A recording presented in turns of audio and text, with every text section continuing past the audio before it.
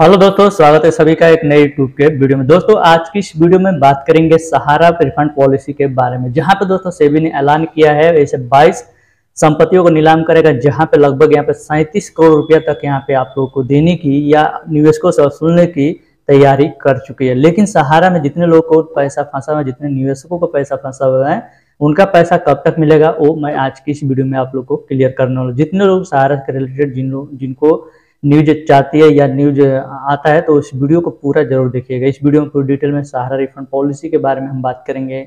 सेबी ने कौन से बाईस संपत्तियों को नीलाम करेगा, वो आज की इस वीडियो में बात करेंगे। और सैंतीस करोड़ रुपया कहाँ से आने वाले हैं, वो भी आज की इस वीडियो में पूरी डिटेल में बताने वाले तो चलिए, आज का वीडियो शुरू करते तो नमस्कार दोस्तों, मैं सनी कुमार गुप्ता, विदाउट फनी, क्योंकि दोस्तों आप लोग देख रहे हैं टेक सनी। अभी तक दोस्तों Instagram Facebook Telegram Twitter follow नहीं किया तो लिंक डिस्क्रिप्शन मिल जाएगा, तुरंत जाकर फॉलो कर सकते हैं।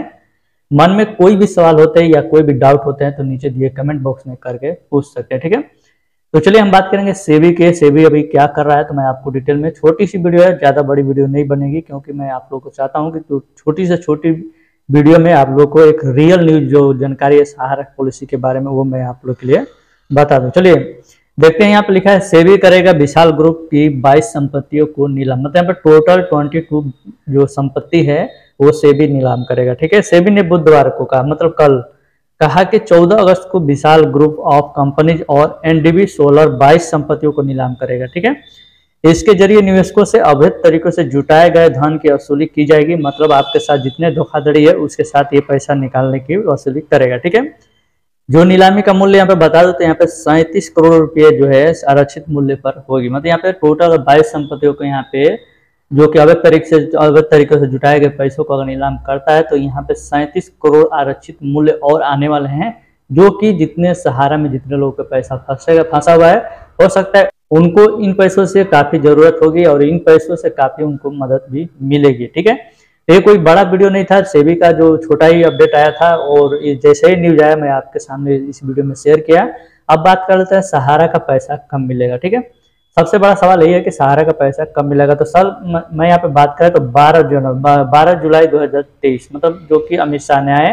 अभी मोदी साहब भी आ चुके हैं तो यहाँ पे अभी फैसला होने वाला है। अभी देखते हैं पंद्रह तारीख से बाद आ सकता है या पंद्रह तारीख से बाद अभी पोर्टल के भी जो सीआरसीएस का पोर्टल है, वो लॉन्च होने की तैयारी हो होने की है। तो अब देखते हैं कि कौन से अभी सी पहले आता है या सेबी का जो अपडेट है सेबी कितना अभी पैसा जुटा सकता है।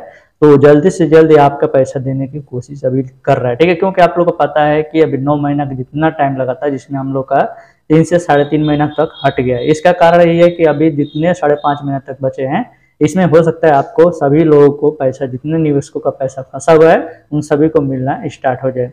ये वीडियो आप लोग कहाँ से देख रहे हैं? वो कमेंट करके ज़रूर बताइएगा। बिहार, यूपी, पंजाब, जहाँ से अभी देख रहे हैं, वो कमेंट करके ज़रूर बताइएगा। वीडियो कैसा लगा? कमेंट करके ज़रूर बताइएगा। वीडियो अगर पसंद आई तो वीडियो को लाइक कर दीजिएगा। चैनल पे पहली बार आए तो चैनल को सब्सक्राइब करके बेल आइकन को भी ऑन कीजिए ताकि ऐसे ही बैंकिंग के रिलेटेड, टेक्नोलॉजी के रिलेटेड और बहुत सारी वीडियो हमारे चैनल पे मिलती रहे। उम्मीद करूँगा दोस्तों कि आज का वीडियो आप लोग को पसंद आएगा मिलते हैं अपने नेक्स्ट वीडियो टॉपिक के साथ। तब तक दोस्तों जय हिंद, जय भारत बंदे मातरम।